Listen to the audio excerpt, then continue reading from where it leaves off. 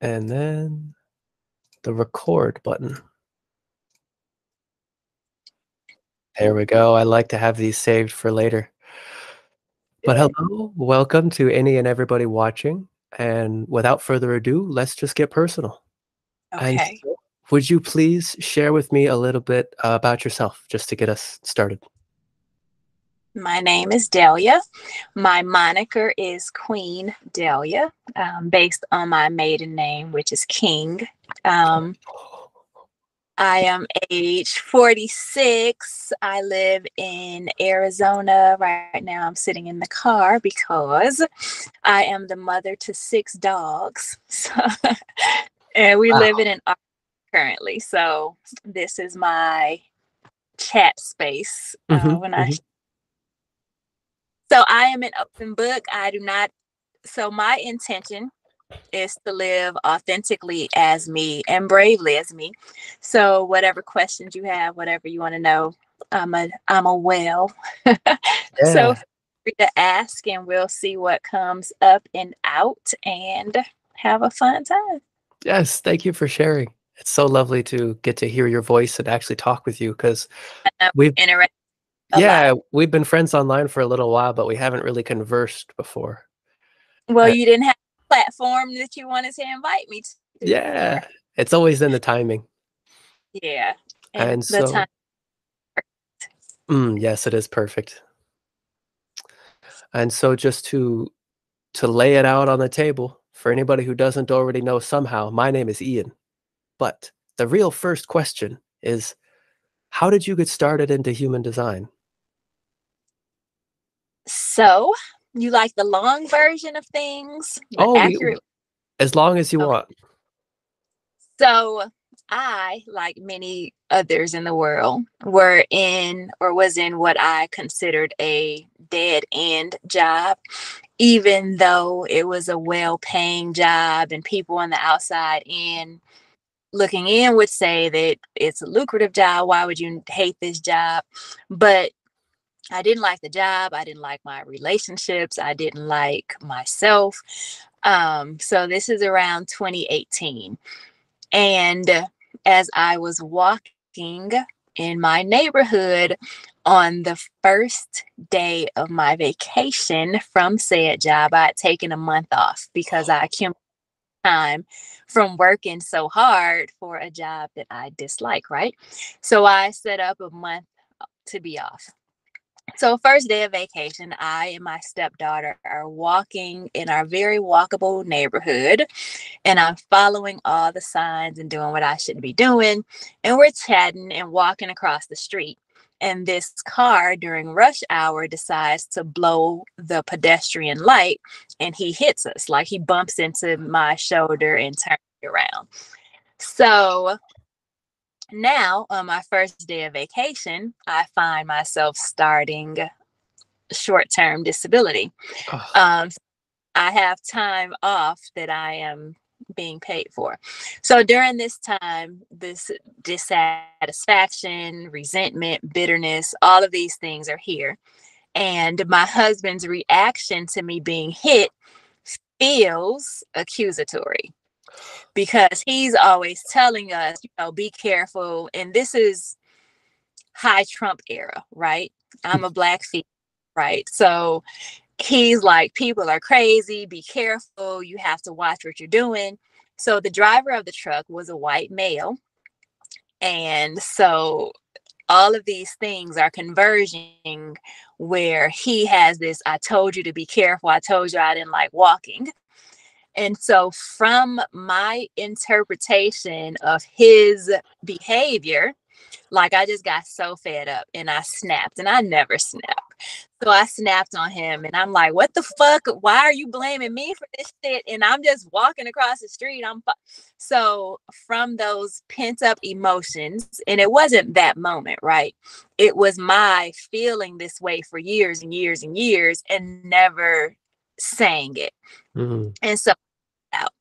And so I got the hives and I like I don't really get sick. So the hives broke out. So all of this shit basically sat me down and I and I assume you're okay with my colorful language, right? Yeah. So all this shit sat me down. I've been dabbling in cardology, which is the study of playing cards. Okay. Um, and I've been following this creator um, named Aquarius Maximus on her social medias. So now I'm off work. I'm kind of bedridden because the stress and the hives, and like literally, I can't move because it's very uncomfortable. And they are everywhere. Um, so meaning like some untouchable parts are being touched in a not good way. Mm. So like I'm literally just laying in the bed. So I took the opportunity to delve into cardology and start a cardology certification that I would have been interested in. So the timing for that worked out well. So in the cardology course, someone mentions human design. And when I looked into that, fuck cardology, like this really feels like home.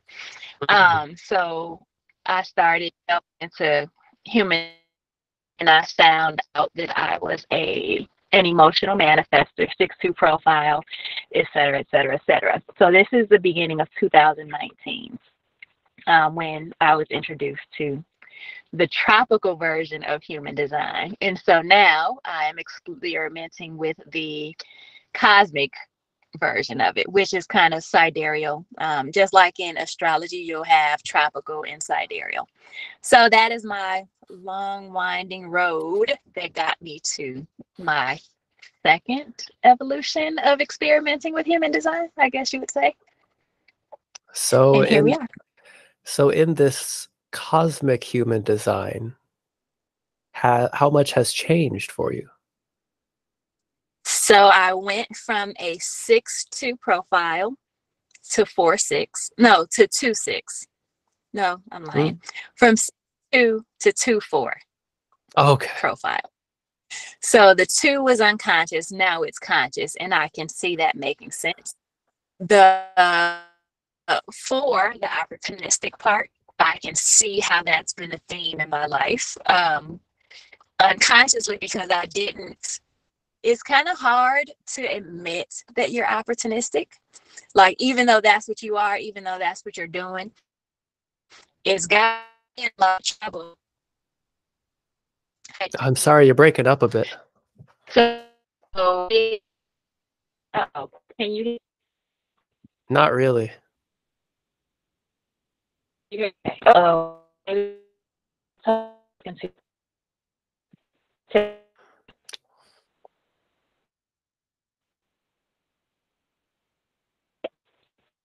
The No, I still can't hear you. now, right? I could just hear a little bit of static, and the Hmm. video basically stopped at this point.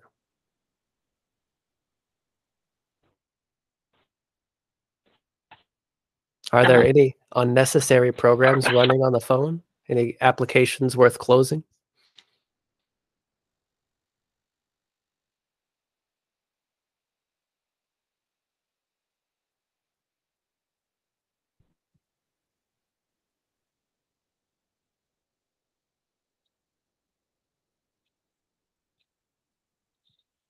Video.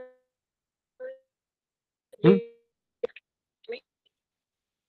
I heard you for a moment, kind of.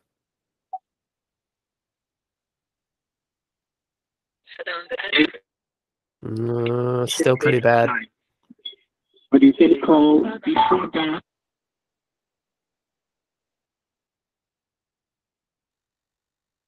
Now.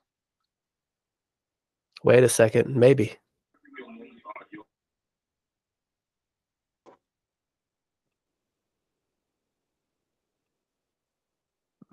Mm. Hmm.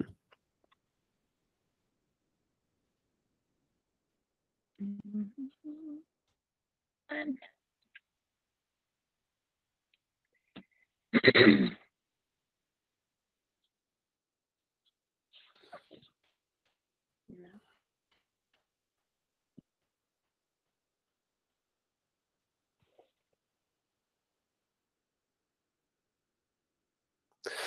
I'm not sure if the connection is stable enough.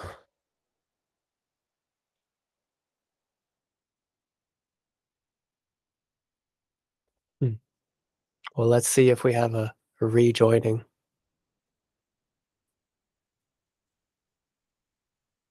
Can you hear me? I heard something.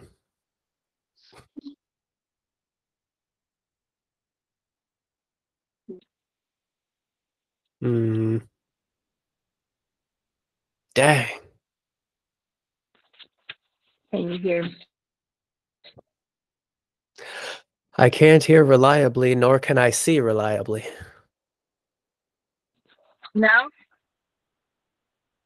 Have It's at maybe one frame every three or four or five, six, seven seconds.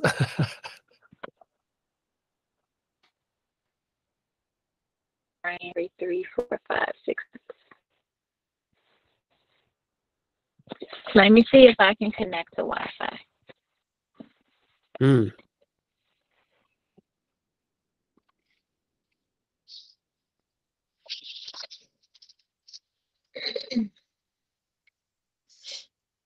Kind of sounds a little better at the moment. Can you see me? I can see you. Can you hear me? I can hear you. But Well, there was a delay. hold on, I gotta climb across to sit in the Oh. passenger Gosh. sit in the driver's seat so I can put on the seat belt so that can stop beeping. Oh, I didn't even hear a beep. Oh, okay. But I have heat now, so that's good. Are you on the Wi-Fi now? Was that changed? I am on Wi-Fi. Okay. Can you hear me? Okay. So sometimes it it doesn't pick up some of it, but it does seem to be better than it was. It seems to be functioning fairly well.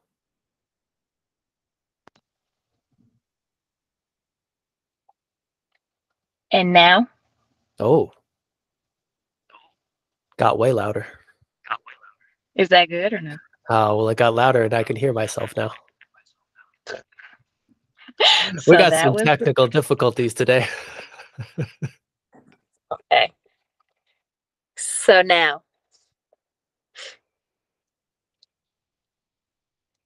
Can you say No. something for a moment? I can say something for a moment. Yes. now my head just locked into this concept of do we just restart because i don't really think i can edit and re-upload because of the way live streaming functions we don't have to restart because life happens, right? So, like, I don't like editing stuff because it happened. so, yeah so, for future podcasters, like people who aspire to do what you do, shit happens. So, don't let it stop you. no it doesn't it doesn't stop me nothing holds me back in that sense there's just always this desire i have to present the highest quality that i can and it's a shame that we'll have lost what two minutes or something but it's not really the end of the world or anything So, the beauty is we had a two minute snafu, but it didn't break our soul, like Beyonce said. yeah So, like, it didn't impact anything. So in traditional human design, you see yourself being identified with six two manifester. But Right. yeah. could you go into the change, the difference that you feel with this other system? So the ch- so it's like so for me because I always want to make sure that I'm sharing my own personal perspective, opinion, whatever. So for me with tropical human design, it came at the perfect time because I needed something kind of help me get in touch with myself, right? So when you look at something that's kind of a blueprint, you'll see some things that make sense. But human design is so diverse and differentiated that, like, you have 64 gates, however many channels and centers, a not self and a true self, that there's going to be overlap. So, if I can see myself as a 6 2, then becoming a becoming a 2-4 cosmic um, profile can make sense because the hermitage is there, right? Um, I know that I like to be alone and even have a need for aloneness. So, from the two in the 6 2 profile being unconscious, and then moving to a 2 4 where it's conscious, now I'm like, I know this about myself and I can admit this and accept this about myself. Um, so, the manifester in tropical and the projector, which I'm listed as in cosmic, has a lot of overlap. And so for me, basically a not so manifester is a projector, or maybe vice versa. Um, so, how many times with so many projected channels in a chart, no matter what system you're looking at, are you initiating when you still need to be waiting for an invitation? So, as a manifester, I needed to get in touch with the I I'm going to do what I want to do type mindset because I didn't have that. I was very people pleasing, which is a general human trait, but also a lot for women. And then also a lot as a Black person. Like people pleasing can be linked to safety, right? Because if you think of a woman walking down a street being catcalled, sometimes it's just safer to indulge that shit than to stand up for yourself.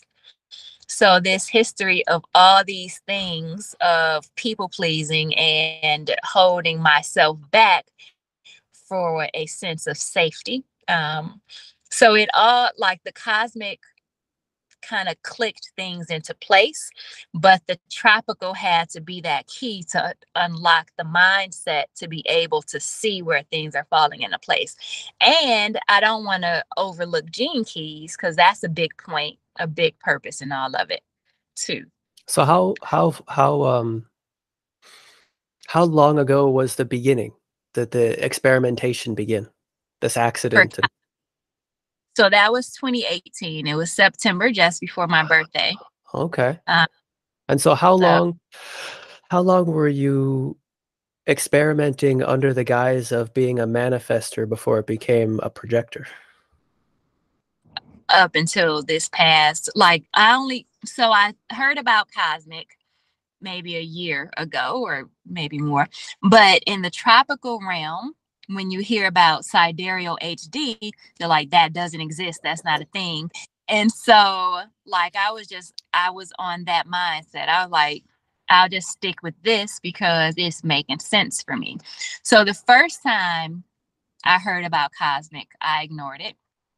The second time I heard about, and not second time, but the second time where it was enough in my awareness to consider it, I'll say, um, was probably last year. And I became a little more open to the concept of it because I had become more open to the concept of sidereal astrology. So with sidereal astrology, um, I changed from a Virgo sun to a Leo sun. And that's where the mindset came from the Virgo perfectionism, also kind of people pleasing, shying away from showing up as you because you don't want people to think of you in a negative way, to going to a Leo where Leos are like out in the open. This is who I am. I love me as I am. And you can have your thoughts and opinions, but they're not mine. Mm-hmm. So connecting to Leo as my aspirational self, my hidden self that this is how I want to be, but I don't yet have the confidence to be that. So that's what I like. So I consider tropical as a stepping stone that I needed to be able to see the truth of the cosmic or sidereal profile. Does that's, that make sense? Well, it's just so funny. It's so funny and fascinating to me because in the Discord server that I'm one of the administrators of that helps moderate and keep the peace and share the knowledge there's somebody who's uh at least in in a human design as I know it, mm. they're a one three generator with only the 360. Okay. And so this person, however, greatly prefers the side reel. I I I I call it side reel because to me it doesn't make sense. I I saw I saw something within it. Sideshow, sideshow Bob. Well, I saw something in one of the other variations because there's multiple people and multiple groups now that have taken human design and made their own system from it. Mhm. And so at least one of those, I don't know if it was cosmic or some other system, but it basically turned me from a 1-3 emotional generator into a manifester. And I was just like, no, that's all nonsense. It doesn't make any sense whatsoever. And that was just for me. Just for That's me, it was just that's everybody's reaction because I've seen manifestors go to projectors like myself. So I'm also looking at my son because I follow his experiment, and he went from an emotional generator to an emotional projector. So that whole thing for it's a big him and difference. but it makes hella sense for him when I look at how he is versus how I try to force him. So even his variables switch up. So the gen- he doesn't have, and not that every generator is built to be a workaholic, but he doesn't have in him. So when I was trying to get him interested in school, he hates school, right? So I was teaching him from a left. I'm so so in human design, tropical, I was PRL, DRL. In cosmic, I'm quad right, which oh. really Oh, fits with how I am. And I don't know if your experiences with me enough would be able to be like, this is how she is. So with him, I was trying to force him to study and take notes and this and that. He hated that. So now he ran into some stuff in school where we decided to homeschool him. Um, so in the second half of sixth grade, he became homeschooled. Now I have no interest in strategically teaching him. Like, so all my stuff is trying to connect with him on a this is who you are type, do what feels right for you. My husband is very strategic and he's like, no, he needs to sit in front of the computer for eight hours, you know, that whole mindset. So I forced him from the time he was in kindergarten, like I tried to force him into a school system. So when he got homeschooled, we signed up for this computer program that I was like, okay, let them teach you. So he struggled and fought his way through it. So sixth grade, he kind of did it, seventh, eighth, ninth. So he skipped the whole 11th grade. He didn't even log in. And I was like, I'm tired of fourth. You are just looking up answers on Google and copying and pasting them anyway. So why should I force you to do that? So he moved to New York with his father, and his father wanted to put him in oh, school so that he can be socialized, right? So I was like, just play the game, do what you need to do, pay attention in class, um, you know, and I'm still telling him to take notes, but I'm like, you have to go to school, so make the most of it, pay attention and retain the information. So this boy is on high honor roll, does not take notes, does not study, gets all his work done before he leaves school. Um, in New York, they have to take these tests to be able to graduate. So remember, he skipped the 11th grade. He's now in 12th grade and he's so he's not taking math. Like, so he passes the test that they want him to take off from his receptively taking in information Mhm. and being able to pull it, get it pulled out when necessary. So for him, like his tropical design saying you have to study and you have like you're supposed to Did it say he was a quad left or something? no, it he was he was three parts left, one part right. Which part was right? I would have to pull it up Oh, okay.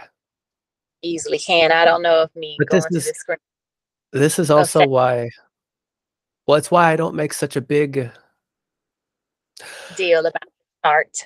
well, like for me personally, within my eyes and the way I see reality, it's it's purely like we were given human design from Ra and his encounter with the voice.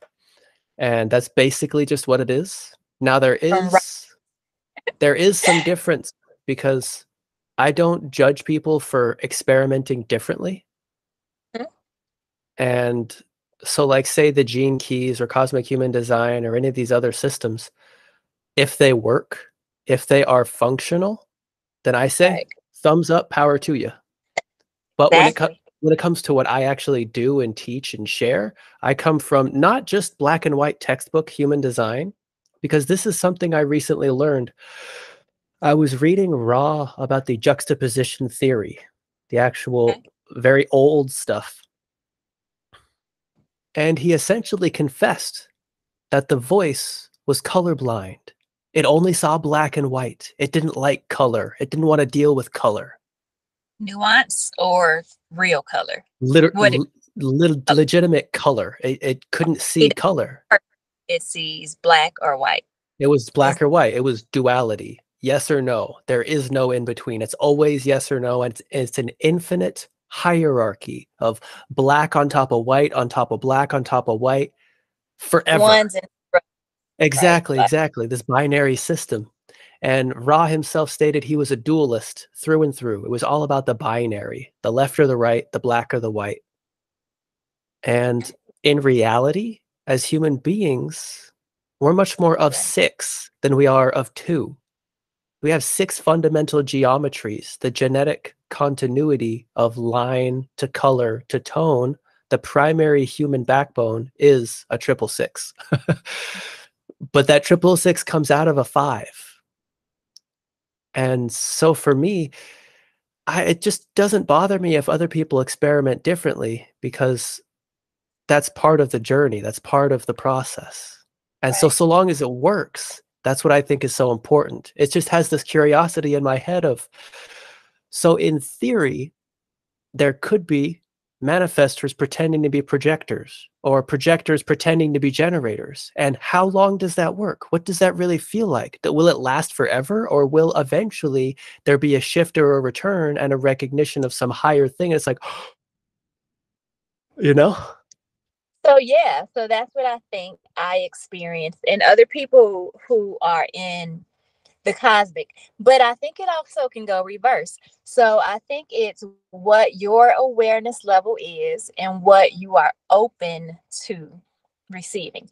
So the first time cosmic nah. Second time, okay, let me check it out. Uh manifested or projector, that doesn't make sense. Um third time and being open to knowing that there are levels to this, right? So that's when I was like, wait a minute. Because over time, like I study and I can look at my manifester version of the experiment. And I had actually practiced, started thinking like a projector in the sense of, let me see what life is like when I wait for people to invite me in hmm. rather than feeling like I can just insert myself. Like a manifester, from my experience, feels like they can insert themselves into anything. And that's kind of how it's presented, right? In the literature.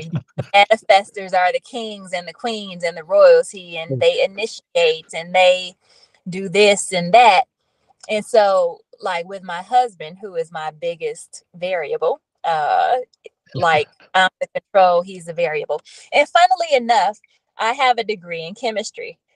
Oh, very Uh, cool. So the experiments, the experientialism of human design was attractive to me because it's Oh, right. And I like the concept of experimenting with things to see what the outcomes are. So I completely get how one can be turned off if you identify as a manifester. And now, and I even, t- when I talk to a manifester about me starting to experiment with um, life as a projector, they were like, oh, we're manifestors. Can't nobody tell us to do shit. We ain't waiting for shit. And I was like, okay. But for me, especially now that I can look back over my life from when I've waited or received invitations that were correct and how life worked out really well versus when I tried to initiate things that nobody asked for. so, like, I can see in my own personal experience the validity and accuracy of the idea of me being a projector. But bottom line is, no piece of paper can tell you who you are, mm-hmm. right? So somebody can look at my tropical chart and make it make sense for me. But I can look also at my cosmic chart and see how it makes even more sense. Like the ego, because now I'm an ego projected projector, mm. which is still in alignment kind of with a manifester. You do what you want to do. You do it what feels right for you, what feels correct for you. Um, but in my entire life, I was not doing things unless there was something in it for me that I wanted. so I, I I'm on Twitter a lot and I do Twitter threads. And I told the story of my aunt being in human resources and me going with her as her little helper around the office. So filing stuff, running errands, whatever, but as a little girl. So when she learned the concept of WIIFM, W I I F M, what's in it for me, which is the motivation of people when they decide what job they want to do or how much effort they're willing to put into something that connected with me and i couldn't have been more than 10 12 15 like very relatively young and like I hate going shopping, but I would go shopping with them because I knew that I would get rewarded for being there. I hmm. like to eat. So after shopping, we go eat. Now, if they say we're not going to eat, then no, I don't want to go shopping. I'll sit in the house bored or reading or doing whatever I do. Um, so just all these little things that make a projector a projector are things that I do. And not to say that you can't pinpoint those same things in my tropical chart, because, like I said, it's there. But the benefits of the cosmic chart for me is being given a slightly new perspective to evaluate and experience and experiment with. Um, so, in the end, I am a sovereign being, right? So, so my whole thing is to remember who I am with or without human design or astrology. So all of these are just little breadcrumbs to follow as I reconnect to what I want, who I am, how I be, how I want to be, what's important for me, who's worthy of being in my presence. So all of it just comes down to who the fuck are you and what the fuck do you want? So like I don't get caught up and so you can say cosmic is total bullshit and you're stupid for following it. And I can say you're right. Not you, but I'm sure people say that even Oh, people, people would. Oh, for sure. And I mean I'll be like, you're right. But this is my path of least resistance right now. And that is that's for me. So that's where it is. You see, that's where it is because yeah. I had actually just I, I re-uploaded something I found on another channel from Bashar. I don't know if you've ever heard of Bashar before. And Abraham. Yeah, I've been weirdos. for me for me it was specifically Bashar. Like even when I was between 12 and 14 years old, I was listening to Bashar for hours and practicing the meditations and stuff. And so finding that path of least resistance to me has always been really important. And so I would never judge or call somebody stupid because what works for me doesn't feel good for them. And I would never right. judge them for that. I'll always just give, like, oh, if you want my perspective, I'll give you my perspective. But I could never even dream of forcing my perspective on somebody because I think I'm a know it all or something like, even if I feel like I know everything and I can explain anything, that doesn't mean you care. or that it's accurate for that person, right? well, it's the rel- it's the relativity, you know, it's right. the relativity of it all. And so we are here to experience our life our way. So what is what what works well for you? Because like there are people who are living successful or peaceful, satisfactory, surprise like they're living their tropical design to their full level of whatever it is, or uh, people heard use. And so have you Have heard heard of what? the the 4% of 4%? I have. Right. So, so the excited, you just got me. So, Oh, so okay. So I don't know the exact references, but I can pull them up and share them. But there are instances in Robert, aka Ra Uru Hu's, ex, uh, his talks where he gives information on his tropical design, but also on his cosmic or sidereal information. I think he's flubbed where he called himself one thing, but he had called himself something else in another talk. well, I mean, this is the thing. He's a human just like any of us, and so he's going to make mistakes. I mean, he said the So wrong thing or done the wrong thing, you know.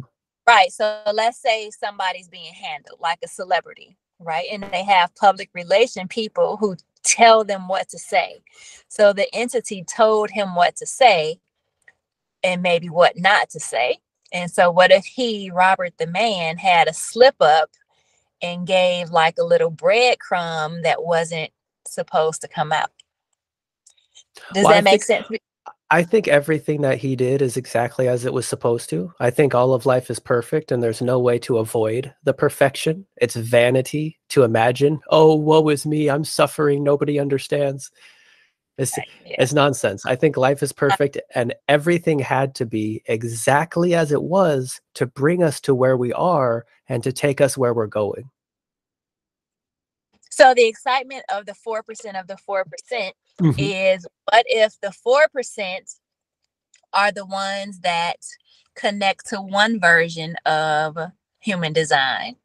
And then of that 4% that connects to human design, there is a 4% that connects to the next level or sidereal or cosmic version. Well, what what really strikes me the most about the concept of 4% of 4% is this idea because he said there is a so-called promise Mhm. of the 11 centered being. Mm. He he he said that there's like a promise but it's never going to happen. Like he was given the promise by the voice of this 11 centered potential, but due to his pessimistic third line mind, every activation in his mind was third line, deeply pessimistic. He thought it was not possible to ever happen. It's like us not thinking that Wi-Fi in a vehicle is possible because all we know is a clunky Apple computer back in the 80s. Right. When, when they used to be bigger than a building is the whole computer, and you have to punch cards and stuff. And now we have this little device this big that can do everything you can imagine. So what I love about life and what I see in society, and my husband and I I won't say we argue because I started removing myself from the conversations. Oh, very is cool. that it looks bad, but like more and more people, and maybe it's just people that I can see in my frequency, but I'm around so much awareness and self awareness and acceptance of potentiality. Like, so I grew up in church. So we another hierarchy, right? You can only get this high because you can't be higher than Jesus. You can't be higher than Mary or God. Like, so there's a limit on your potentiality. But even with Ra and his pessimism, um, there is potentiality that we can meet. Gene Keys was kind of like the answer to Ra's, dare I say, misogynistic approach to Well, I mean, to that's him- fair to human design. because His Ra was very old fashioned. centered approach to human design. He Um, gave so the even- most. He gave the most seven-centered lens on nine-centered reality we could imagine. And he talks a lot about human design kind of being for the not self, which maybe Well, he taught. He taught for the lowest common denominator because you see, he had this thing where he discovered and he saw that people were just they didn't get it. They couldn't click into it, and so he he began teaching to the lowest common denominator. It's like I've seen talks, I've heard talks where he was saying, I am now teaching, like I've done my work. I've I've outlined human design. I've done all I have to do. Now what I'm doing is I'm talking to those people who don't give a shit. to those people who couldn't be bothered. I want to speak in a way that can hit them and impact them positively.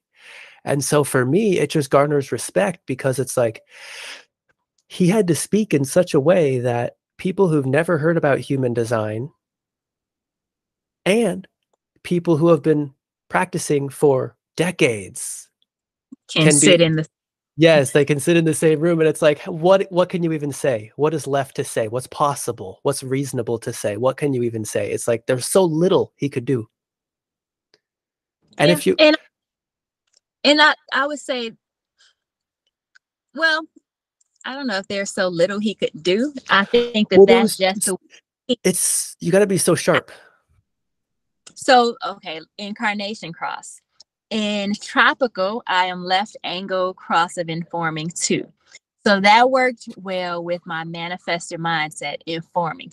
So, like, you'll hear so many manifestors talk about the impossibility of informing. Like, why do I have to tell people this? Or I don't like because it's like you've heard that before, haven't you? Like, why do I have to inform? And our strategy isn't informing, it's initiating. And even Rao say that informing is kind of public relations or being politically Yeah, correct. he, he pa- said it wasn't um he said it wasn't so much of a mechanical strategy as it was a social strategy. yeah. So my incarnation cross of informing was it made sense for how I present information, right? So in both systems, I have defined ajna and throat connected in different ways. So now I am right angle cross of explanation. And I don't Mm. know if you ever, I think you said my post. Did you say one of my, my posts are too long? Was that you? You make you make some really long ass posts. Yeah. Huge. So I make my posts, and if you ever take the time to read them, I think that I like Ra try to meet each person at whatever level they are. Um, so I'll sprinkle in some human design stuff, and so then I'll have to kind of explain it.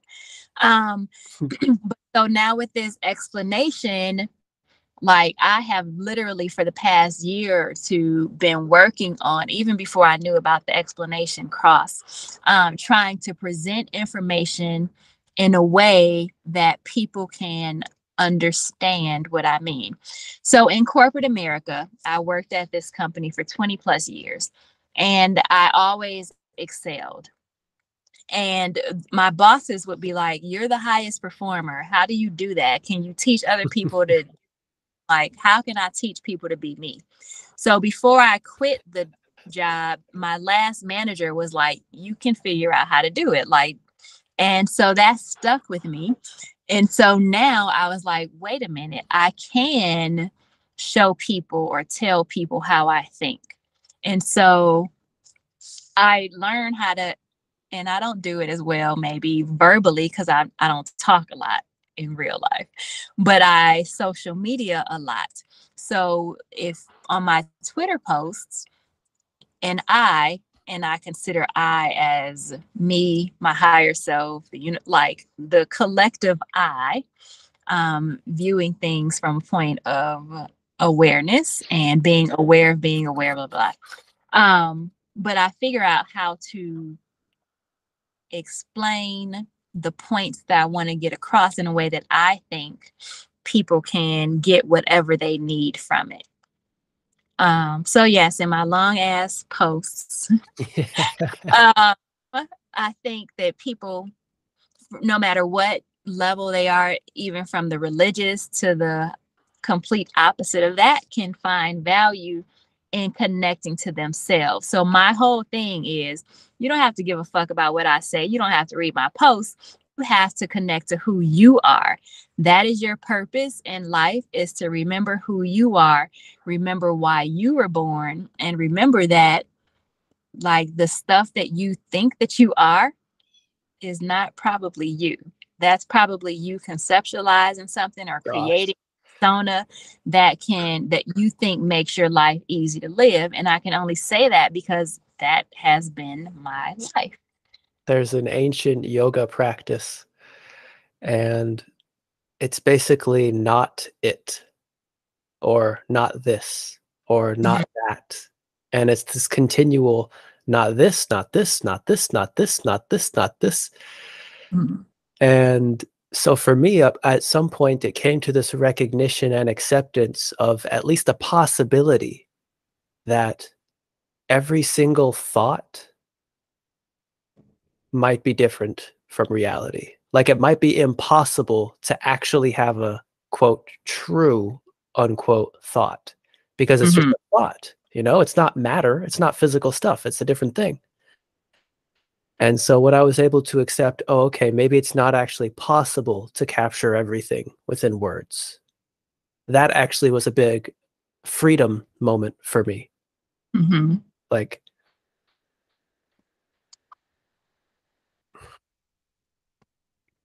when it comes to the see the biggest thing that's on my head right now is this difference between the manifester and the projector. Okay. because they are different but they're not as different as say going from a generator to any of the other types. Mhm. because that's the most obvious type like as a generator.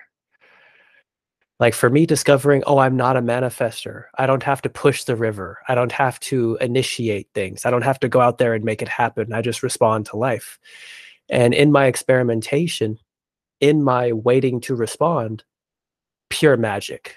It's just synchronicity. Like i, I can't avoid seeing the magic of life all the time. You are tropically a generator. yeah. Okay. so most So- likely not in the other one Right. So even with a generator to manifester, it's not as different as you would think. oh it's huge no it's huge well, manifestors still wait to respond, but No, you're waiting to respond to what life gives you to respond to. And it's not very different from a generator. I can I don't describe it though. I can describe it linguistically, the differences of what they're waiting for. So the generator is waiting to respond to life. It's waiting to respond to something. But the Mhm. manifester is not waiting to respond. The manifester is waiting for the impulse. They're waiting from a signal within the body that, oh, we're about to do something. Let me let people know so I don't hurt them on my way to do this thing. but so- remember the letting people know is not the is not necessary. That's just strategy? It's the strategy. You know, it's okay. it's it's public relation, like Ross said, right? It's I mean, isn't it all? It's all learning how to interact with each other. Right. So I don't see, so you see, I mean, I don't myself see a huge, So the question though for you is as something to think about or to pay attention to. It comes down mm-hmm. to the difference between the projector and the manifester because the projector waits for the invitation on the most surface level way, but in a more subtle level, it's waiting for recognition. So if you see that another person can actually see you, if you can tell that another person can hear what you're saying and they can actually hear you and not just some fantasy and they get mad at you because they're whatever. Right. And so there's a that difference between waiting for that inner impulse and then you're doing something, Mhm. Ideally letting people you care about know so that they don't get hurt, versus waiting for somebody to recognize you and to see you first and then explaining or communicating to them from that. And so as a projector, is not like you sit still in meditation until somebody, in, I mean, unless you're as a projector, which is also kind of like a Leo, like you live your life, you do the things that make you feel good and you gather skills and experiences and this and that and you talk about what you want to talk about but you just don't go into people's auras which is the becomes the repelling manifester thing right? I can give You- another. you just don't you just do what you do. So like and i think with a manifester initiation if you can pay attention to the quality of the output from your initiations right so you get an urge to do something and Well, see, it you- just sounds like you're driving impact, though, because this is a, an important distinction between but that manifester thing is impact right exactly. See, a manifester, you literally see impact. You see what makes the difference. Mhm. But there's a difference between what a manifester sees. They see impact, and what the Mhm. projector sees because the projector sees success. They see the elements that build success itself. Okay. And so, if there is ever a way in which you can distinguish the difference of elements that create success versus impact, like what am I actually looking at in life? Am I looking at just impact or am I looking at the actual building blocks of success itself? That, for me, that's an interesting question for the situation. So I would have to consider what I look at. And so for me, I see, I measure success in how well do my interactions get me what I want. Oh, so sure. even with I prac even before this whole projector thing, I had started practicing to ask questions in a way to get the answers that satisfy my questions. Mhm. So like I again my husband, I practiced on him and he remained a generator from both systems. Oh, Um, really? Interesting. yeah. So generators, because you're 90% of the world, Like 60 right? or So 70. Yeah. So it's a good opportunity for you to still remain that because the odds are in your favor. um, but for him, like I have to learn how to ask questions in a way to navigate him to answer what the what I'm asking to reduce the frustration for both of us of what do you want from me? Because I'm like, well, you didn't answer the question that I asked. Um, Hmm. so success in interactions in that way. So for him, um, I listen and I learn how to change his moods kind of by getting him to talk about the things that feel good. So I have to ask the hmm. questions that kind of get him talking in that way.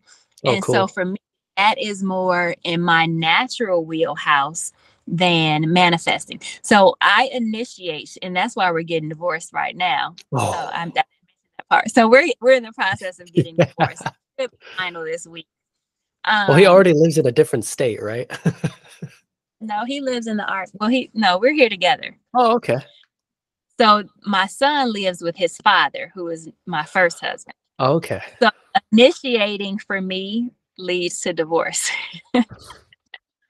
because, yeah. So Well, it's part of the magic of life in that just because we're following our type strategy and inner authority, it doesn't mean there's going to be no mistakes or there's going to be no problems. It just means that when there is a quote problem, unquote, it's something you can actually learn from as opposed to something that's going to cause more problems down the road because you're trying to adapt to some false idea. And so the question on my mind now is about authority. Did your authority change? from emotional to ego projected. Oh, okay. That's still pretty kind of So- sort of similar in a sense. But I also think that that kind of is manifestorish, right? Mm-hmm. Because if I mm-hmm. get an urge or an inclination or a a pull, so Well, I see what I think what I'm seeing at least is that you're you're working in between these two potentials and you're enjoying yourself along the way and that's what really matters because and this is something that's very interesting. I had just made a an 18 minute recording just reading Ra, just 18 minutes of reading Ra and it was on the left and the right. The difference Mm. between them and the relationship they have with each other. And essentially when the right is really steeped in their inner authority. Like when you actually know inner authority, you know who you are and how to make decisions as yourself, you can let go of strategy. You can let go of the left because we don't need that old stuff anymore. And so that's why to me, it's always been the inner authority that's even more important than the type strategy, even though they're essentially equal and they work together. But the shift you've made from this six two emotional manifester to a two four ego projector the difference there is still there's there's this sense i get that you're get you're just getting in touch with your authority and who mm. cares whatever system or whatever words we're using you're you're discovering who you are and you're getting farther along the path and that's what matters And even now, I am moving away from the terminology of human design, period. So I'm starting to describe my experiences without the connection to human design. Because ultimately, I think that is what's best for my gift to the world. Well, you see, it's so funny too, because the there's a six two generator, the woman who introduced me to human design. Mhm. She like she tries to encourage me to talk about things other than human design. Because it's like, well, if you're just talking about this thing, then you're not really, you might not be living it. You know, you might not really be doing it. But That's funny. I, I look at my chart and what I am within it, and everything is explained. Everything makes perfect sense. It's all plain as day right in front of me. Like I, I, I'm getting into the very deep end now, but I'm, I'm, I do resonance mapping and base orientation now as well. And so I looked at my base, and as it turns out, there's actually a base that I have no activations within. I have absolutely no base three, the base of being, the base of chemistry. And so for me, it was just so fascinating because I'm often attracted to people who are base three. It's like people who just have a natural way of being. It's like, wow, look at that being out there. So you can deep dive into the cosmic versus tropical Well, that's a- based our conversations. That's a You'll big thing there. There, and this is that. That's a big difference. Aren't there 13 signs in the cosmic? Is that one of the differences too? No? No. Oh, okay. So it can't. so there is 13 sign astrology. There's a 13 um, sign human design, I believe, too. So there's that option. And so this is the funny thing. Genetic matrix has a sidereal option, which I'm like, why would that be there if it wasn't a consideration? So, So Well, the guy who- The guy who makes genetic matrix actually upsets a lot of people because apparently the calculations are done a little differently from every other website. I've heard that too. Yeah, Jonah Dempsey actually had some big argument conversation situation with the founder. I think it's even on YouTube, and I, I need to watch it one of these days, but haven't gotten around So- to it. So like from Ra and his little slips and then genetic matrix.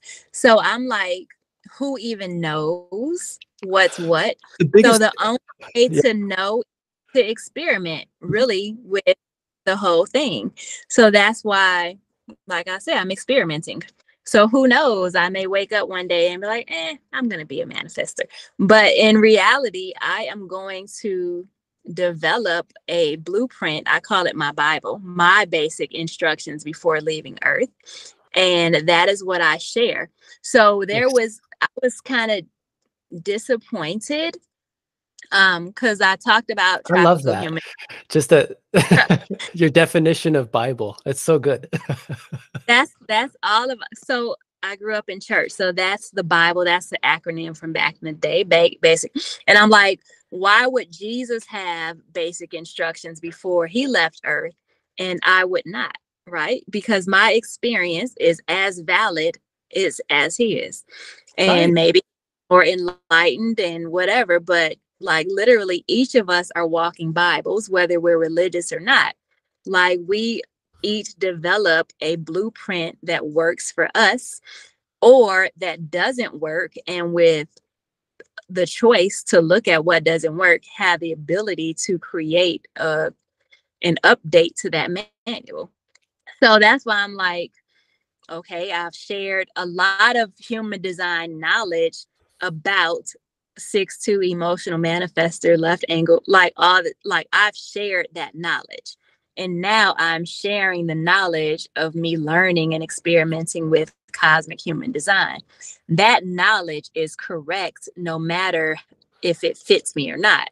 I'm sharing the facts of the data right? So a 2-4 experiences this textbook wise right a projector has this these characteristics and of course we are 8 billion people so there are 8 billion variations and nuances that you have to find in your own experiment i'm just exp- uh, sharing my observations and what i'm testing, testing out. So you take what works for you and what doesn't. But Mhm. if I share a meme, it's accurate to the knowledge of human design that was given, and it's applicable to whichever system you follow, right? Because a 2 4 in tropical is a 2 4 in cosmic. I don't think that changes. well, I thought you you went from a six two to a two four. No, I'm just saying a 2 4. If I remained a 6 2 in cosmic, the 6 2 description doesn't mm-hmm. change. So, right, that's fair because basically when we're talking about lines, colors, and tones, we're talking about the six fundamental ways of movement through space and time. So it's fundamental geometry. It's about up, down, left, right, and the diagonals. Right. So the adjective that we put in front of human design doesn't change that. So whether this it's tropical or cosmic, it doesn't change. Well, the thing that changes is the the calculations change and the actual behaviors do change because you went from manifestor to projector so the the behavior would change the the the real thing is dictionary, it doesn't say tropical manifestor does this, cosmic manifestor does that. no because it's would- just manifestor Right. So that's what doesn't change. hmm The only thing that changes are numbers that humans calculate, right? So- These calculations. So even the voice, as he gave it to Ra or Robert, did Robert transmit that information authentically and fully? Like, look at the Bible. We say that these are the inspired words from God. Yeah, but they're written by humans. exactly they're written by humans filter that you don't necessarily know. So I enjoy new things. I enjoy things that fascinate me, that light me up, that give me an interest in diving deeper. So where I was in tropical human design apparently left space for me to go to a new level through cosmic. So that is just my trajectory and my right my and i love that you have the open-minded perspective to be able to say maybe someday i'll wake up and i won't believe what i believe today and that's okay And that's only because of my experiences. One day I woke up and was like, why is Jesus my lover? Why is Jesus my, why am I you- married to Jesus? have you ever listened to rudolf steiner I don't believe that I Oh. have. Okay, But I- because basically Rudolf Steiner, there's there's a Mhm. channel here on YouTube wherein there's somebody who's actually done like hundreds of hours of reading Rudolf Steiner's work. And he came about, he was born after 1781. So it was after the shift to nine centered reality that Rudolf Steiner was born. And he used certain terms like even differentiation or uniqueness. And I was like, how do you know this stuff this long ago? But Rudolf Steiner, I don't know if there's anybody who could speak about Christ more accurately or more eloquently than Mr. Steiner. Like his perspective was, it blew my mind wide open and it helped me a whole lot with kind of coming to terms with all these Christ. terms. Yes, the Christ consciousness, exactly. Because it was about, well, hold on. No. Christ consciousness in church, because that's not official. you're not Christ. How dare you say that you're Christ? Then you're then you're the antichrist. But the thing was is so if we look up in the sky, there's a thing called the sun. Mhm. And there's also a whole bunch of stars. And the story I've been given goes, well, there's only one sun. There's only one Christ that rises every morning and sets every night. Mhm. And it was the spirit of our soul. It was the spirit of the sun that actually incarnated on earth and caused this shock wave that ended up as Christianity. And so it's awakening the spirit of the soul within you, awakening the Christ within you is the second coming. That is the savior. That is the rapture. And Rudolf Steiner explained it in such an incredible way. Like it went all the way down to there are metals in the center of the earth that are not only so hot, but they're influencing your imagination because you have the metals in the core of the earth and then the stars out billions of miles away. We have the above and the below. And then up here in the middle on the surface, this is us humans in between it all. And it's all connected, right? Mhm. so, so there is no separation, but Yep. in our mind. That's the biggest thing right there. The separation is the illusion. So in 2019, around the time of this car accident, I uh, got high one day uh, with marijuana. Wow. and I was sitting there and I started paying attention to all my thoughts. And that was the first time that I had. So I don't know. So do you know that not everybody can hear their thoughts? Apparently, some people don't have an inner monologue at all. Right. So I am not one of those people. but this day when I was high, sitting there was the first time that I started paying attention to the thoughts. And so this is still my manifester phase. So I was giving an urge to write down my thoughts. So I got a pad and a pencil or a pen, whatever it was, and I was and I just sat there and I was writing, writing, writing for hours and hours. And then my hand got tired, so I went into my room and you know told my husband and son that uh, leave me alone because I have something that I have to write. So I went to typing it out and like for 24 hours i couldn't sleep i would wake up and just wanted to write all this stuff down and i was like i should publish this in a book which i did Oh, and then unpublished the book because it was too crazy right? But so I, during this time frame i was meditating a lot and i had been given in meditation this idea of void consciousness. Oh. like everything is just blackness and conscious but it's void because it's everything and it's nothing right? And so i would write about that.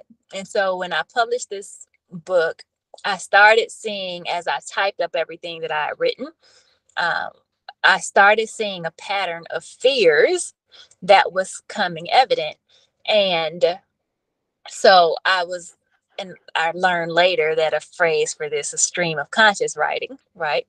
But that's when I first questioned the idea of being a channeler. So Mhm. receiving channeled messages and sharing them. And I talked to some other people throughout my lifetime, and they were like, You have these gifts, and you are afraid to use them, and you're afraid to let them out, and they're just sitting in you. And like basically, spirit is kind of tired of your bullshit. so you're like getting all these readings and asking all this stuff, and the answers are within you. You're so afraid, you've been conditioned to be so afraid to hide. And so that is around the same time that human design was present in my life. And so all of these things worked together. So the void consciousness thing and the idea of I am afraid to admit my equality, quote unquote, with Jesus and accept Wow. that. And even then, your equality with God, Mhm. the constructs of God. And so, like, I just see that people are so afraid because I've been so afraid to admit that, okay, there can be a being as God, but I am too God, right? I too have these powers. Even like if you you're not don't receive channel messages, like you really do shit every day. You're not necessarily walking across water realistically, but you are waking up, rising, and descending every day like the sun. Um, but just this notion of whatever your version of God looks like, if you think about I read a lot of science fiction, watch a lot of science fiction, and the trajectory of all of these gods are that they go through periods of not knowing who they are and then not accepting who they are. And then when they come into acceptance, is right in time for them to save their part of the world. Because all of Yeah. these gods, they're in different parts. So during the same time with meditation, I thought about how a creator can put different bundles of people in different parts of the earth and this person was given the idea of Christianity, that person the idea of human design, this person the idea of transgenderism or any concept that we have, each person is given their own version of what is correct for them. And we don't accept that there are 8 billion versions of God. Like we say, we say no. You have these three options to choose from. You have these and that's the foolishness that causes wars. Mm-hmm. So like we've had this discussion like you believe what you want to believe and it's up to me to come to terms with you have every right to believe what you want to believe like you're not hurting me even if my mind says i'm being hurt like you're literally not hurting me any pain that i feel even if it's physical my mind has to filter that into pain because it's just a sensation until I tell it to be something different. Mm-hmm, mm-hmm. And you know, I think that's so. I think it's awesome because it takes me even back to Steiner again. Essentially, the self of God, the godhood of self, and it's a mm-hmm. shift. It's a shift that happened even evolutionarily on our planet. So part of it says is that way back in the old times, before the Dark Ages, when we looked up at the sky with deep reverence because we knew there's the God rising and there's God setting. It was just everywhere. You didn't have to talk about it because you could feel it. Everybody knew it. And then we went through a dark age wherein people forgot. They couldn't see it anymore. And essentially, what happened, even going to Nietzsche, the, the philosopher who said mm-hmm. God, is, God is dead, what he was saying is that the external God on the outside, it's no longer on the outside. It's in you. It is exactly. It's on the inside of you. And if you can hear God within, if you can hear your own inner authority, that's all you need to navigate this plane. That's all you need. It fucked us up big time, right? Because you talked about feeling and being more so than putting words to describe it. Right, because like we can make up words all day long. It doesn't mean anything. It doesn't have to. It's in the interpretation. The shit we say, we don't even believe it. Like we just say it, and it literally sounds like we are programmed to follow this script, and we just regurgitate it. That's what school. That's why my son being in school, I felt so conflicted because I'm like, he's in there learning shit that's not true, that's not beneficial. That, but I have to force him to go and my ah. it's so bad because I would tell our son, like, I know it's bullshit, but you just have to go. And he was like, Why are you telling him that school? And I was like, he already knows because they're in school talking about how wasteful it is. I went, I graduated high school in 94. We were talking about it back then. So it's not like these are new concepts there are just people that are becoming bold enough to say the stuff out loud. Mm-hmm. Well, that's and, why I'm so grateful that we're alive today because it's not going to be like it was yesterday. Like we're that's why we're talking about the dark ages. We're still in the dark ages. we got it. It's right here though. It's right now. 2027 is right around the corner. And from other I listen to all kinds of different sources.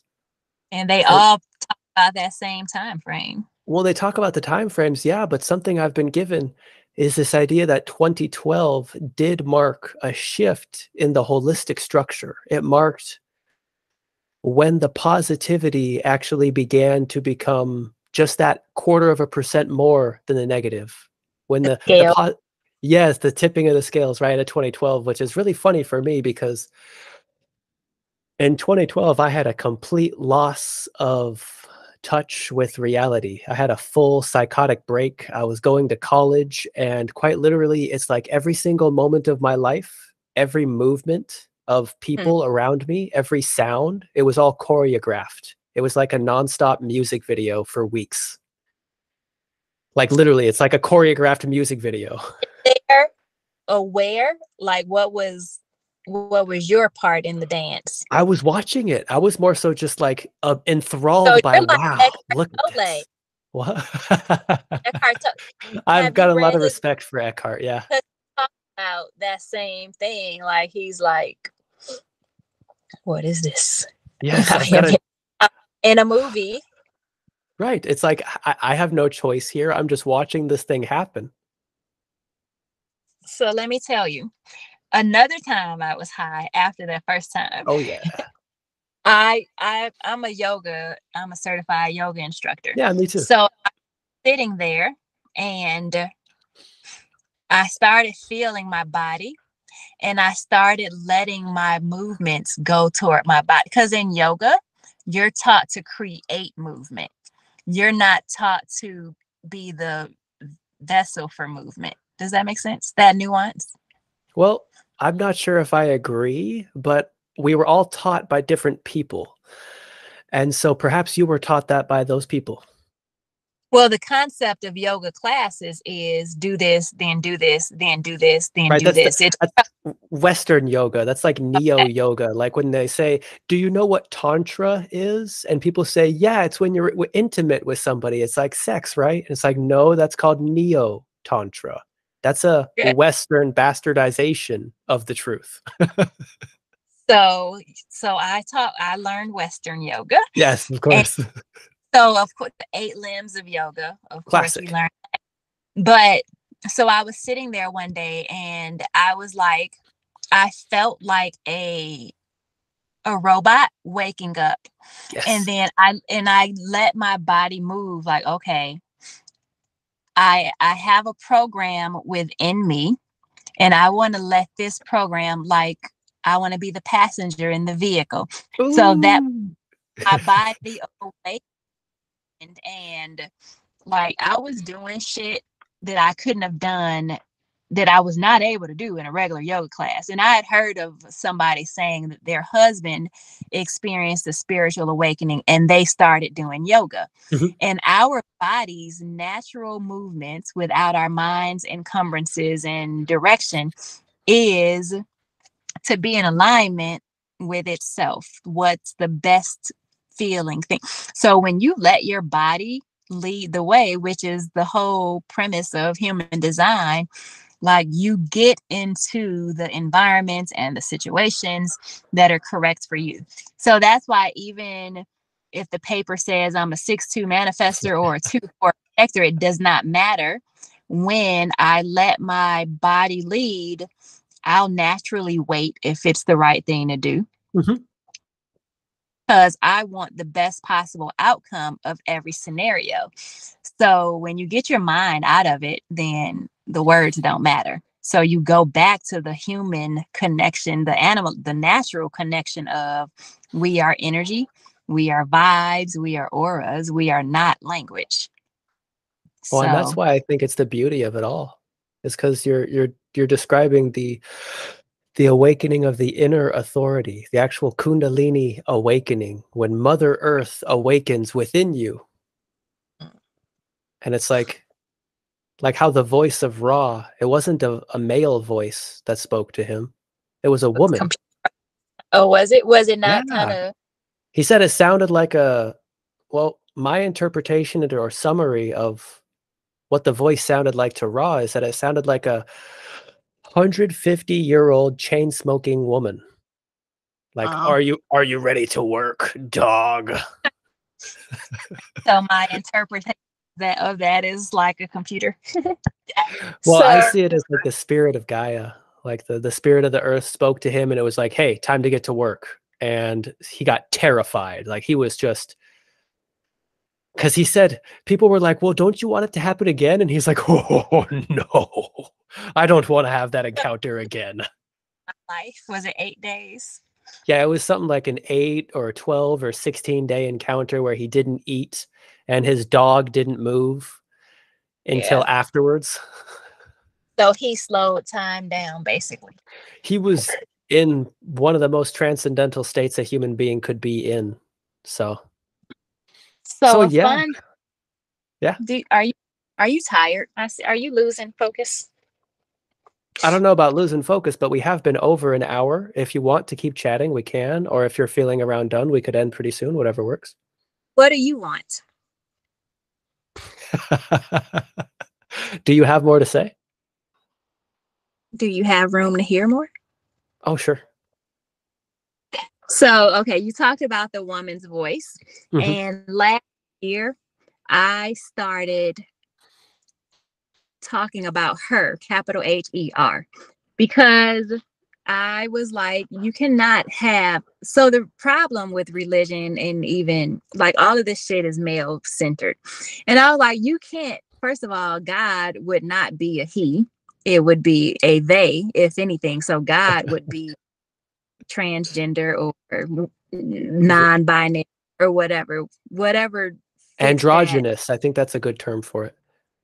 Okay, we'll go with that but it would not be a he and if anything it would be a she because even in human language you can't have so many words if you took her h-e-r out of it. You wouldn't have father mother sister brother like all of these words together have her in it.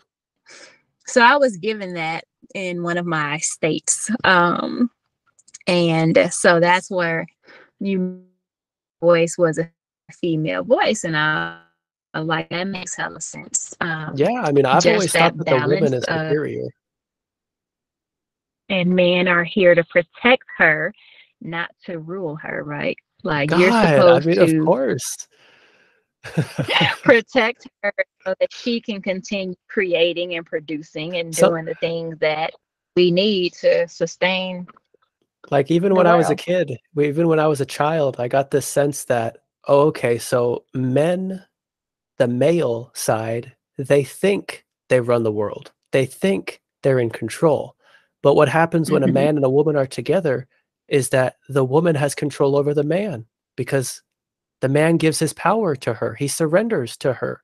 And so it's like there's these kings and they think they're the rulers, but in fact the queen rules the king. And so I've always thought that, oh, women actually rule the world. Like women are superior to men. That was always just like, well, I mean, babies come from women. I mean, the physical superiority is what created the idea of male dominance, male superiority. Like that, because you can beat a woman into submission, you think you've done something, right? So, this whole physical dominance that men think that, oh, we're stronger, so we are over you. And that's why religion is like, they subordinate it's strategic leftness, you know, it's old and world that's just the trajectory that I think we all I'm sorry, the connection's breaking again. pick up from. And that, so do you remember? I forgot the name of them, but those like five balls. There's five what? You remember those five balls that are on the strings and you Hmm. I'm sorry, the connection is dying. hit one and it hits the other one and then they have to come into balance. Five silver balls. Can you hear that? Okay, yeah, I know what you're talking Do you hear about. me? Oh, that's okay. Like when you have you have a ball that Hey, hits over Sarah, here and it goes ding ding ding ding ding. Um, but that's what that's what I think is happening right now. So with the and then they have to come into balance. They get out of whack.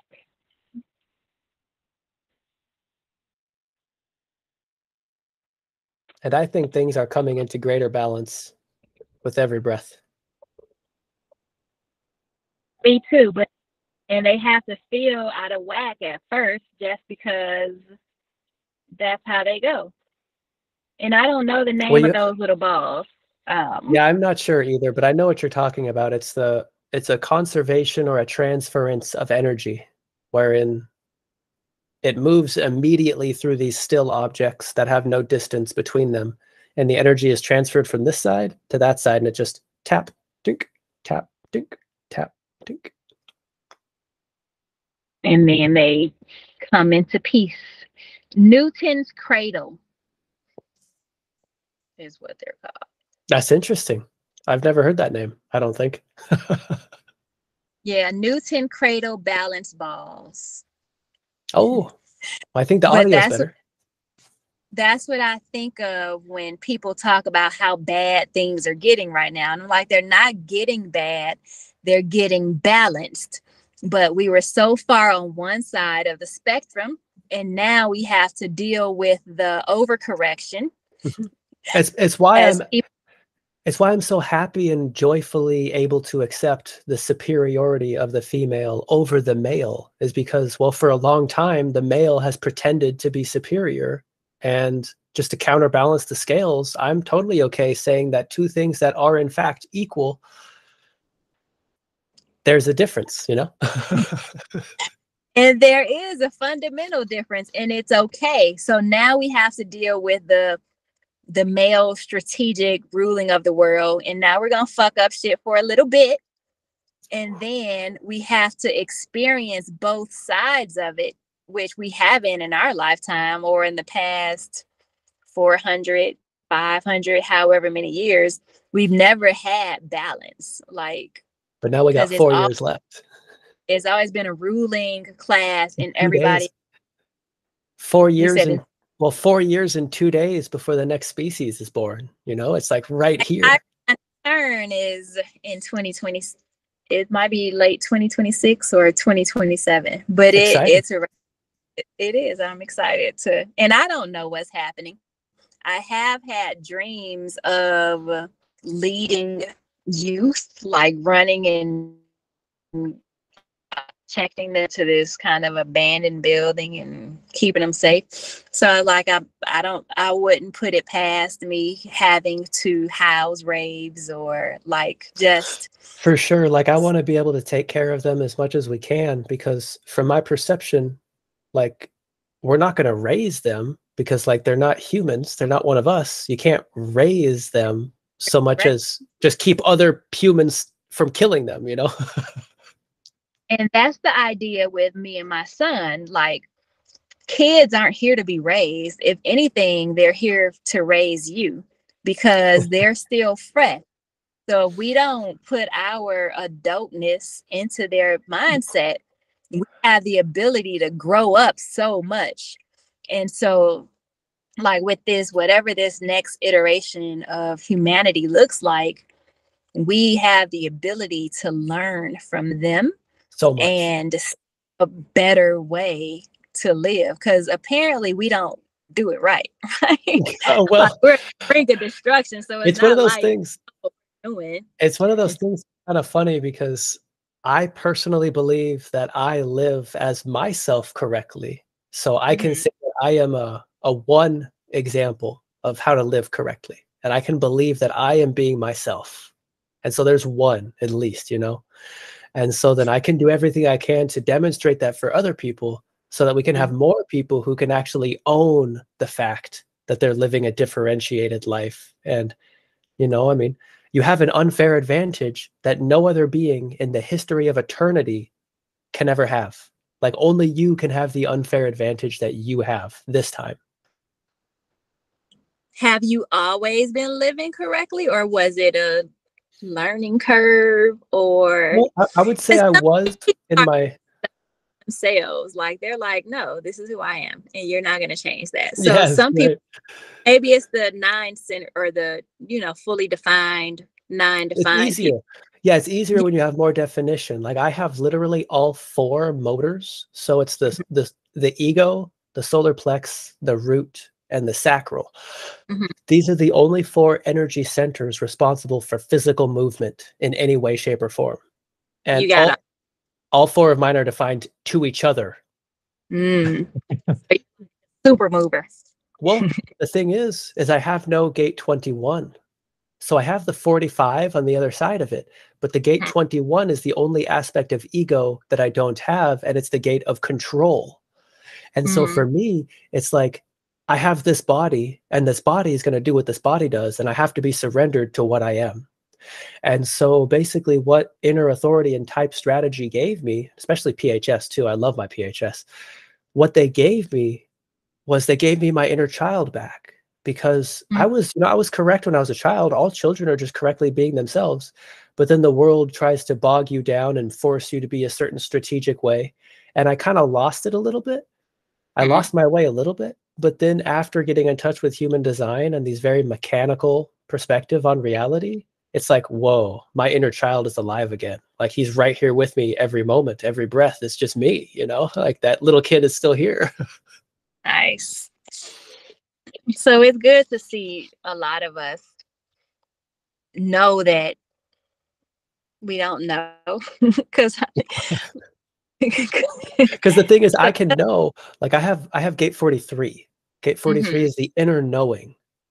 It is Mhm. hearing a vibration that makes no sound. okay. But I don't have the 23. The 23 is responsible for breaking down the vibration, which makes no sound, and then taking those pieces and building it up together into a communication. And so for me, I'm not always able to accurately express what I know, but I have an mm-hmm. inner knowing and I always know. But the thing is, I'm not certain because my mind It- is undefined. So I'm not certain But about it. But even with that knowing, you know that because there's so much more to know that on the grand scale of things, you don't know. Like you Well, only know what you don't I- know. Like I learned, I discovered this is that the more I know, the bigger my awareness of what I don't know becomes. Because it's like a bonfire. It's like you have this tiny little fire, and then it becomes a big roaring fire, and the fire gets bigger, and all of a sudden you just keep learning. It's it it keeps going. It's like there's more darkness. The perimeter of darkness just gets bigger.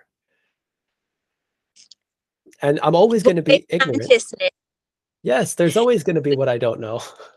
Yeah. but even so we know so i think we know it all but we don't we don't have a need to pull it all forth right? So it's in there and when it's a need or a necessity for you to know then you know. Well, that's the magic as well from Bashar is that I know what I need to know when I need to know it, not even a second sooner, not a second And later the- either. and that's the connection to your body that you have to because the body doesn't forget like stuff within you has been with you from jump even if every seven years it like there's a piece of you that is always there They've they've got studies that show all already we have evidence and the science confirms DNA memories mm-hmm. 14 generations. You know?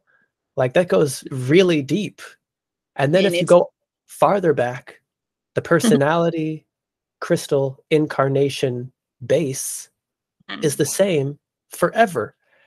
And so I've always been incarnating under my second base of evolution and identification. I'm, I'm, about identifying things that are moving in space and recognizing and maybe giving them a name. Mhm. And I've always been evolutionary base from 15 billion years ago at the very beginning. We all came from there. You know, it's like old soul, new soul. No, we've all been here from the beginning. we're all just soul and you you're just a little piece of whatever piece you are and cloaked in your, your body but that so yeah that memory um in so with women when you're pregnant they say that you're basically your grandmother's child just because of how that cord links back to your mother's mother Wow. So like and that's the her part of it all like there's just that feminine thing that's ever present in you and me and everybody it doesn't go away because you're always like you come from your mother from her body even if your dad's sperm had something to do with it Mhm. so it's just nice to be able to not know but know what you need to know when you need to know it and to trust so there's that faith Yes. religion kind of misplaces but to trust that you are going to know what you need to know. So there's no reason. My husband does not get me. He like No. you act like nothing is and i'm like why am i worrying about shit? Because i mean i'm not controlling it. So why wouldn't i feel comfortable You see, walking that's the that's the thing is because when when you're strategic, when you're mm. left, and when your mental decision making processes overpowering your actual inner authority, mm. when you're making decisions purely from your mind, when you are the controller, when you are the head of your destiny, and of your household. right versus versus I don't have to have that kind of responsibility because I know that there are consciousness, there is hyper intelligence, there is a force that is infinitely more powerful than I am. And I'm at the whim of that force that's infinitely more powerful than me. And it's kind of nice because I can trust the guy upstairs or the girl downstairs or however you want to look at it. I can trust that I was born for God, consciousness, whatever, to live life as a human, Mhm. this human. So, why would I put myself, my God self, in situations that are going to end my experience? And if I happen to end my experience, then it was just time for it to be over, and it's okay. like it's okay. Death is not the end. It's just another transformation. From all my studies and all my research, what I see is here in this life, we have a great opportunity because we're born into these physical bodies. But these physical bodies specifically, as different from, say, an ordinary mammal, where there is no self reflected consciousness, at the point of developing self-reflected consciousness it, it appears that we actually gain the capacity for the creation of well you know the merkaba the vehicle of light and so Mm. When we're in this life you can actually create a vehicle that your awareness your consciousness will hop into at death. And so instead of going back into reincarnation and trying again from some other meaty vehicle that's going to suffer and all this stuff you build a vehicle made of light and well light doesn't suffer and then you just go fly through infinity forever you know? Just So my goal is 1212 is to live authentically and bravely as me um, and just show up and have conversations with whoever comes into my vortex yes and experience life as me through me with me in relation to the chemistry that others bring around me. So that's lovely so i think i think we're at a, a pretty good stopping point around now this will be the longest one i've had so far the Yeah. question is if you have any kind of self-plugging you want to do like any kind of referential links that i could put in the show notes for if you have a service or anything like that you could describe it now and send me links and i'll put them in the notes Okay. So um, most of my platforms, I am either Queen Dalia or the Queen Dalia, T H E E Q U E E N D A L I A. And I offer one service, really. It is a transformational conversation. Nice. And this just developed from me noticing that when I talk to people, um, they tell me their problems, and by the time we get off, they've gained some new clarity. Um, so that is what I offer, and that is what I do. And I don't know. And I just meet people where they are, and Mm. we decide what they need from there. Yeah, I thought you did great. I mean, we had a really lovely conversation. Thank you. and so, yeah, if you just send that my way, then I'll be able to put the link in the notes, and anybody who Okay. wants to reach out can find you. Yay us, and yay whoever decides to watch us. Mhm. Yes, exactly. So, thank All you. All right. See, Thank you for the conversing. Say what? I said, see you on the socials. Mm, The social. yes. Yeah. See you on the other side. Hopefully, in person sooner or later.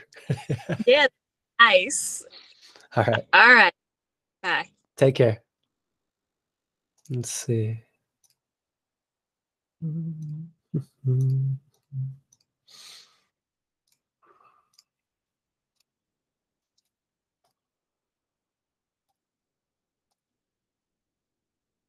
Nice.